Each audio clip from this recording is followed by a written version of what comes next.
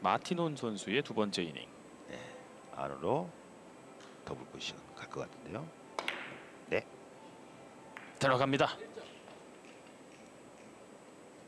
이렇게 마이너스 출발해서 내 공이 밀릴 수 있는 배치에서는 항상 하단 당점으로 어, 끌어치기보다는 이 일적구의 내 수구의 분리각만 만들어주면 되거든요. 예.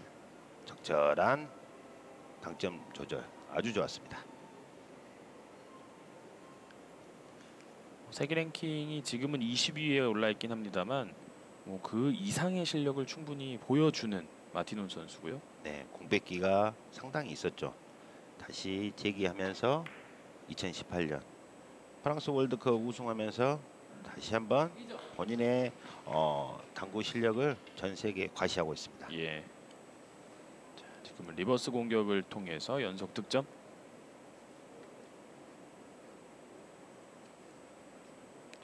지난 시즌 후반부 라볼르 월드컵에서 우승을 하면서 귀환을 알렸던 마틴 혼 선수가 되겠습니다. 부드럽게 바깥 돌리기. 키스는 빠졌고요. 정확하게 내려갑니다. 득점.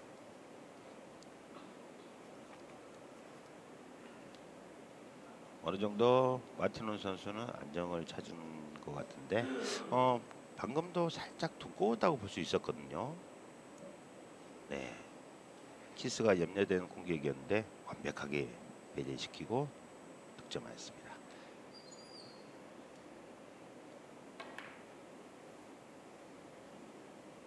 뛰어치기.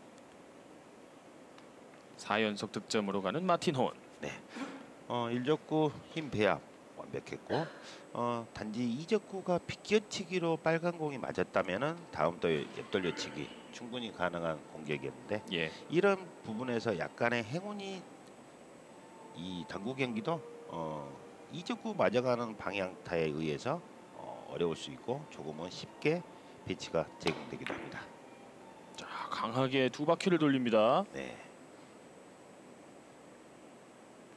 일단은 길게 떨어지는데 혼 선수는 이미 자리로 돌아가 있습니다.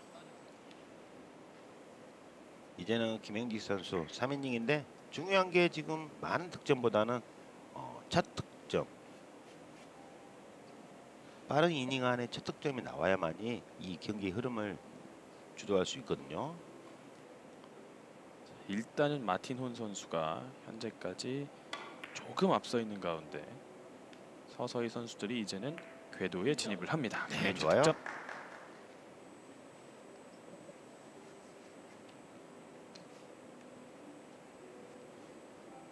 선수들이 이렇게 고민을 할 때 얇은 두께를 이용해서 바깥 돌리기 완벽했고요. 어, 김행직 선수가 잠시 고민에 빠졌는데 그만큼 어떠한 공격을 펼칠 것이다 준비하는 과정이라고 볼 수 있고 아 이제는 선택을 했죠. 살짝 끌어서 안으로 돌립니다. 길게 돌아서 득점 성공.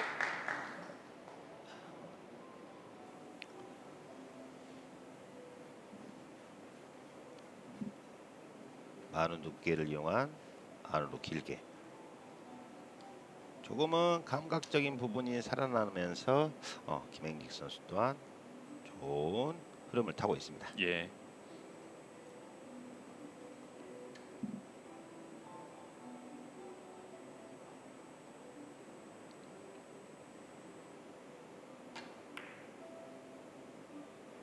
자, 옆돌리기 정확하게 갑니다.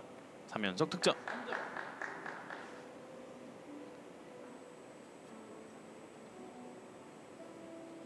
득점 이후에 김행직 선수의 수구가 조금 난해하게 맞, 맞았거든요. 조금만 더 얇게 맞았다면은 옆돌려치기 대회전 가능한 배치였고 행지기의 행진을 기원하는 팬분입니다. 예, 김행직 선수에게 우승으로 행진을 당부했습니다. 어, 입사각 자체가 많이 선수 바깥 돌리기로 가기에는 조금 많은 끌림을 이용해야 되거든요. 피켓치기 대회전으로 어, 한번 가는 것 또한 나쁘지 않을 것 같아요. 오, 어, 길게 횡단으로 횡단으로. 왔어요. 자 들어가나요? 득점입니다. 네, 대단합니다. 아, 단축과 단축을 오가는 횡단샷을 김행직이 보여줬습니다.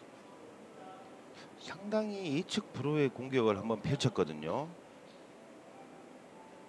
어, 김현지 선수 이제는 경기력을 보면은 깜짝깜짝 놀랄 때가 한 번씩 있어요. 예.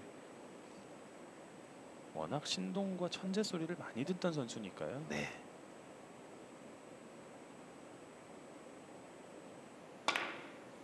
비껴치기로 길게. 아, 조금 아쉽네요.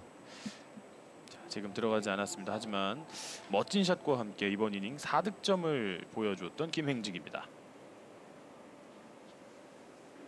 네. 어, 생각지도 못한 경로였어요. 네 이번 기- 지금 보신 이 경기는 마지막까지 경기가 어떻게 된- 전개가 될지 모르지만은 정말 베스트 샷이었어요. 예.